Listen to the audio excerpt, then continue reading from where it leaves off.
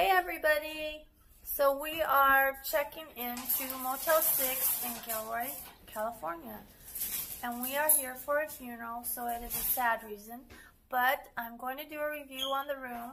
So if anybody comes to Gilroy and wants to stay at the Motel 6, they can see what kind of room they're going to get. If they get this one, which is just a queen size. And it's a lot smaller room than any ones we have gotten in them for a while, huh?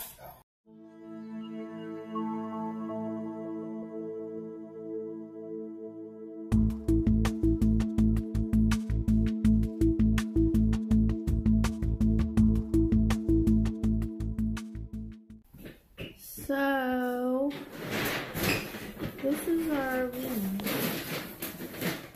I can't get you on there, but it's really small. And there's the view outside is a Hilton Motel.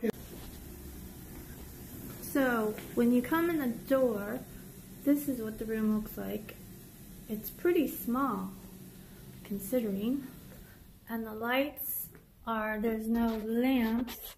They're just switches and they're kind of like sconces. And the TV is different but um, has a lot of um, hookup things. Ooh, yum yum, that's for later. And it's an LG, which is a good TV.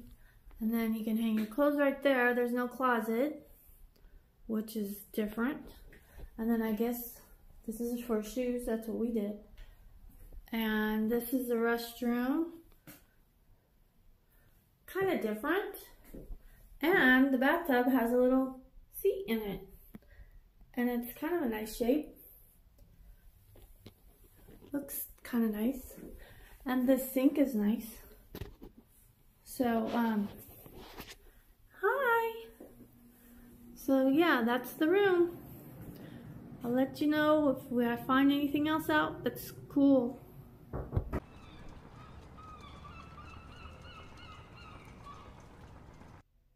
So, this is after we stayed at um, the Motel 6 in Gilroy. Come on, Motel 6. You need to do some improvements. Hopefully, somebody from Motel 6 Corporation is watching this video. Um, here, here are the things that happened to us. First of all, I think when I went to pick up the remote, I think the back of it was falling off, but it was an easy fix. Um, but still, you know, everything should be in working order. Um, second, the bed was so uncomfortable. It was hard and it was like felt dirty. I don't know how to explain it, but the sheets were like soft, but in a bad way. Like I don't know how to how how to explain that, but you know how when you go to a nice hotel or motel and the sheets are like crispy kind of crispy and soft and smell bleachy. I don't know how. I don't know. But there's a difference between crispy, bleachy sheets and soft, kind of not great smelling sheets. They only gave us two pillows, which I know that's not a big deal, but in a lot of places I've been to lately, there's usually like two pillows for each person and then maybe a couple little pillows. Maybe they people take the little ones, I don't know. So, um but anyway, just two pillows, one per person. There was only one washcloth in the in the thing. The thing that held I showed you in the in the movie that held the the towels, one of the rings when we went to take the towel out, the ring fell out. The yellow ring. Kind of sad. Um this they only give you two little tiny tiny soaps one for the tub and one for the sink. No shampoo, no conditioner, no lotion, no blow dryer, no coffee maker in your room, no iron.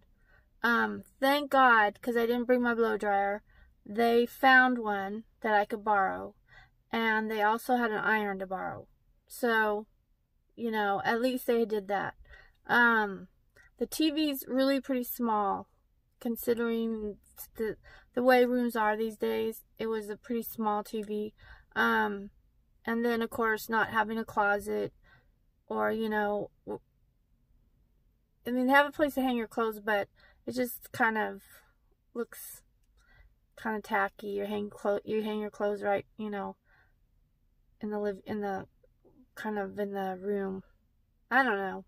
Just not I I think they were trying to be efficient the way they set the room up, but it as far as designers go, designing, it was it was kind of kind of sad. But I I guess an okay use of space because it was very small. And and it was dirty. Uh, I found a half of a pill. I don't know what it was on the floor. And I also found like a little ring thing that went to something like, um, I don't know, some little metal ring thing. So, you know, that tells you that the maids aren't doing that great of a job. And then there was, uh, under this, in the, in the bathroom where you throw the garbage, there was like something splattered on the wall. It's kind of gross. And I notice stuff like that. I don't know about you guys, but I notice things like that. And the maids should notice stuff like that. If I notice it, the maid should be noticing it. So that, my, my review, they get a thumbs down.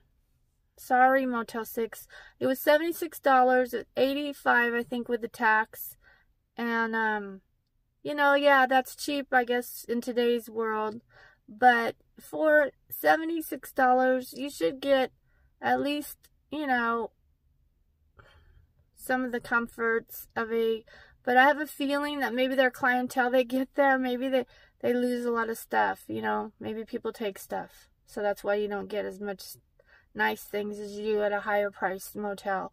They didn't have any books, you know, like that tells what to do in Gilroy like sometimes they'll leave like they'll have like um even if it's like a pamphlet things that you can take with you, but sometimes they'll have like a nice book where you can look through at restaurants, you know, so you can call for pizzas and different things like that. They didn't have anything like that.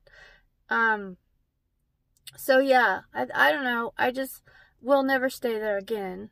And um I'd pay extra 30 40 dollars for a nicer place. Um because I've heard now afterwards I heard that there's a nice place that's like 120 so I definitely pay that extra to have more um creature comforts or whatever. But anyway so that's my review on the Motel 6 sorry Motel 6 you need to do some improvements. Anyway thanks for watching guys and I'll talk to you later. Mwah.